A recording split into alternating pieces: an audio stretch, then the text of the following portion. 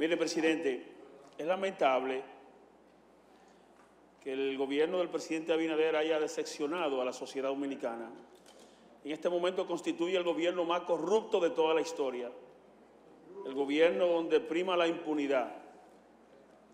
Y es peor, presidente, es peor porque el pánico y la desesperación se ha apoderado de los funcionarios de este gobierno y los fondos públicos que administran en las diferentes instituciones ahora lo tratan como una piñata.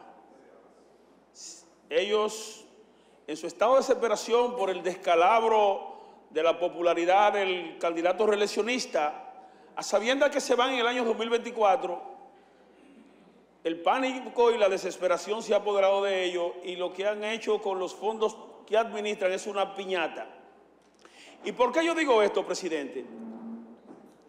Si aplicamos una regla de tres, vamos a ver si el secretario me permite, si aplicamos una regla de tres, los actos de corrupción que se han cometido en este gobierno, en un año más no va a quedar absolutamente nada. De lo que voy a hablar, presidente, ni siquiera está contenido dentro de los estudios que se han hecho, dentro de las auditorías, no está, no está que el ministro de Interior y Policía suscribió un contrato por 400 millones de pesos, alquilando un hotel abandonado para entrenar aspirantes a policías. Y yo quiero que el pueblo escuche muy bien esto. Un policía de la República Dominicana, este gobierno le paga alrededor de 60 pesos diarios por concepto de raciones alimenticias. Sin embargo, ligeramente paga 400 millones de pesos a un hotel abandonado para reclutar, para entrenar, aun cuando tenemos varios centros de reclutamiento y de entrenamiento, paga 400 millones de pesos. Este es un botín que encontraron.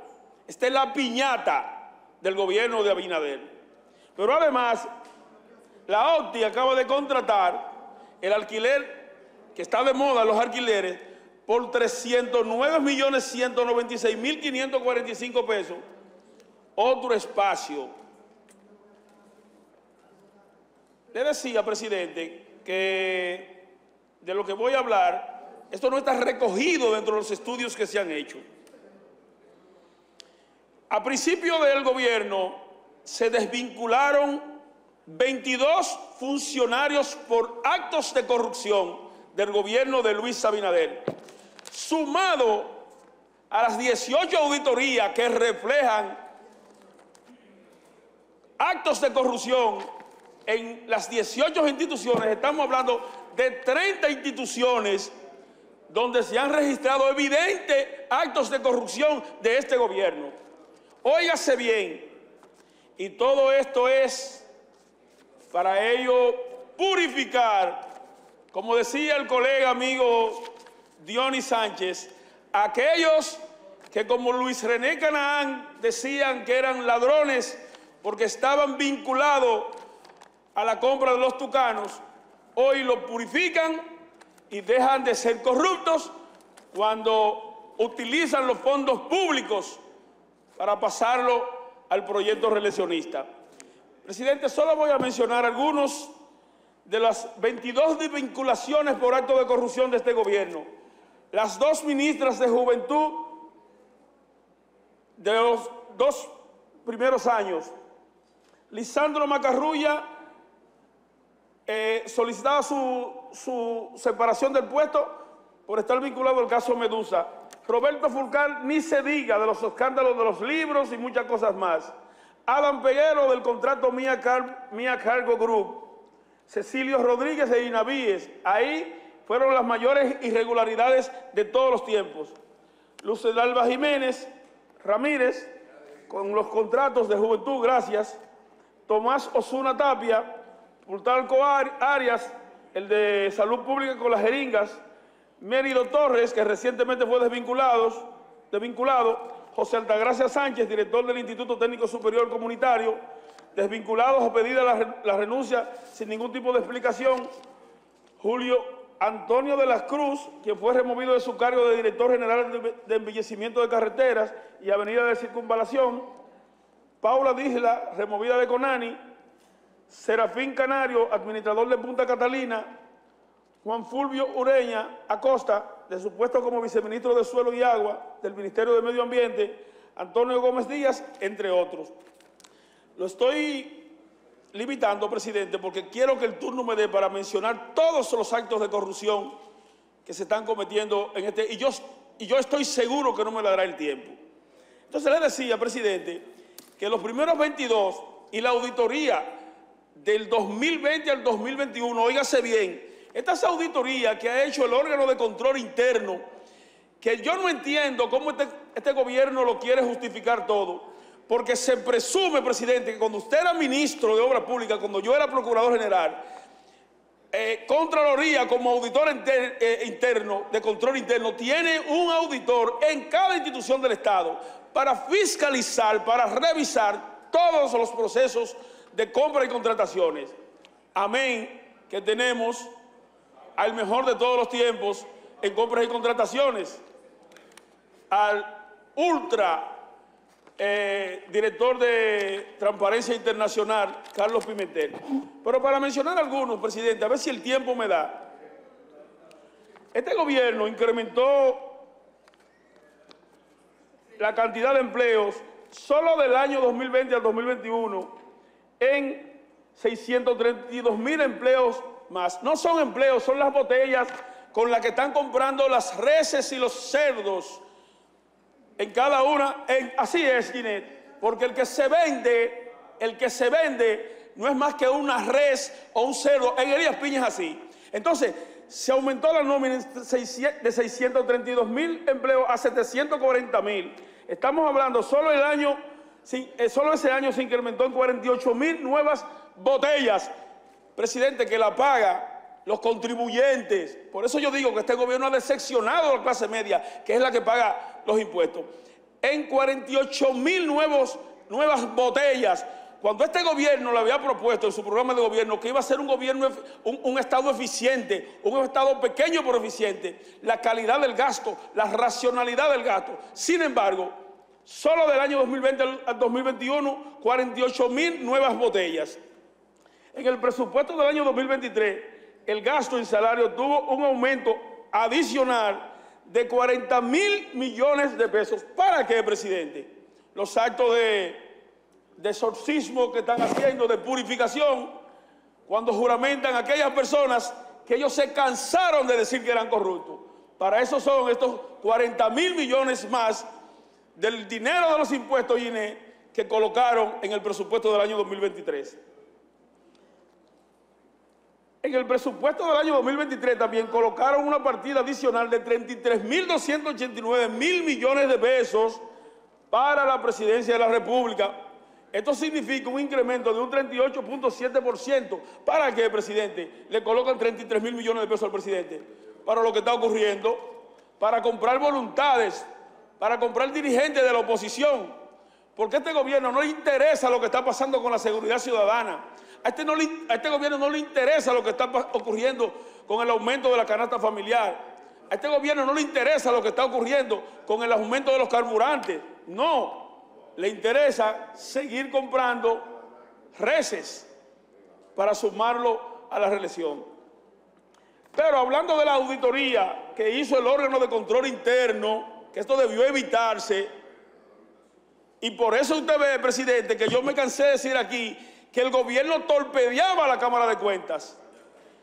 El gobierno torpedeaba desde la Cámara de Cuentas pasada porque no le interesaba que lo auditaran, porque no quería que esto salga a relucir. En ese sentido, presidente, un señor mayor como el, como el ministro de Relaciones Exteriores, que no quiere que se niegue a cumplir la sentencia de los tribunales, porque canceló abusivamente a los funcionarios y a los diplomáticos de carrera, abusivamente, y no obstante hay decenas de sentencias que ordenan que repare eso. Ah, no, es mejor utilizar 317 millones en pagos de nominillas, pero ocultando todo esto como si se tratara de papel de, papel de escritorio. Pagó 2 millones asignaciones de combustible que exceden el 10% establecido por la ley y 250 mil pesos para gastos de imprevisto para, combustible, montos que agotan todos los meses sin variación. Estos son actos de corrupción avergonzantes, porque él no tiene para pagar las prestaciones de los, de los funcionarios de carrera que abusivamente él canceló. Sin embargo, sí para dilapidar 317 millones en nominilla para la reelección de Luis Abinader. ¿Y qué hacemos con el PROPE? Que es una vergüenza, al igual que Supérate. PROPE contrató 598 millones de pesos de forma irregular en contrataciones de equipo pesado para siete vertederos. Esos son los vertederos que más caro le han salido al país. Las empresas contratadas colocaron las mismas pólizas de seguros. Las pólizas se repiten entre los proveedores, provocando la pérdida de más de 41 millones por pago de contratos sin recibir servicios contratados. 110 millones para remozar 350 casas no existe constancia, ni formularios, ni cédula para validar lo que recibieron las casas de Prope. Y ahí se gastaron 110 millones de pesos. Pero además, el buen amigo de INAPA, en la ejecución del presupuesto del año enero-agosto del 2021, hubo irregularidades por más de 2 mil millones de pesos. Los montos presupuestados para el pago de nómina difieren de los montos ejecutados. 23 servidores públicos cobran sueldo en otras instituciones públicas. Lo que están comprando, presidente, lo ponen a cobrar en dos y en tres instituciones en franca violación a la ley. Empleada activa de INAPA como encargada regional del acueducto múltiple suroeste, es accionista de empresa Jeremías CRL, que se contrató por 87, 827 mil pesos. La CAS, Fellito, realizó en un solo día, presidente, compras declaradas de urgencia por 2 mil millones de pesos, contrario a la ley 340. ¿Y dónde está el director de Transparencia Internacional, Carlos Pimentel? Donde contrataron en franca violación a la ley por más de 2 mil millones de pesos, simulando que había un hecho que ameritaba una urgencia. 2 mil millones de pesos. Las cajas chicas exceden montos permitidos. Posee 20 cajas chicas, oigan bien dominicanos, 20 cajas chicas tiene Fellito, Fellito Superví y 5 exceden el monto permitido por la norma. El, no hablar del gabinete de política social, porque ahí contrataron a los artistas y un sinnúmero de personas más que no han hecho todavía su trabajo. Él tendrá que responder por esto. Yo finalmente voy a hablar de la seguridad presidencial, que es por lo que está por lo que están procesando a Cáceres Silvestre, que dice que 487 empleados con sueldos mensuales que ascienden a los 6 millones que figuran en la nómina, no hay documentación ni detalle de dónde se encuentran asignados, brindando servicios de seguridad ni función al cargo que ocupan. Presidente, nosotros hemos hecho una pincelada, solo una pincelada. Yo no voy a hablar de José Ignacio Paliza, que es el que juramenta las reces, que también encontraron, hay hallazgos que comprometen su responsabilidad penal en, las auditorías que hizo el órgano de control interno del gobierno del cambio. Yo no voy a hablar de, de otros funcionarios. Bueno, precisamente la Cámara de Cuentas se la quieren llevar porque algunos de los funcionarios no obedecen a los requerimientos del gobierno de Luis Abinader. Finalmente, presidente, finalmente, presidente, este es un gobierno este es un gobierno que solo se ha dedicado y seguirá dedicando a la clase a la que ellos pertenecen. Dionis hablaba de 60 mil millones que desaparecieron todavía, presidente. No se desespere, no desespere. 60 mil millones que solo en 24 horas se desaparecieron. Y hay que ponerle en todos los medios de comunicación, se buscan, están desaparecidos. Históricamente los bancos aquí no han podido colocar más de 24 mil millones en un mes. Sin embargo, este gobierno le entregó a sus amigos 60 mil millones de pesos del encaje legal. Esto no tiene presidente, presidente, presidente. Yo sé que usted está un poco desesperado. A otros colegas usted le permite excederse con unos minutos, pero que Dios le bendiga, presidente, para que no siga sufriendo.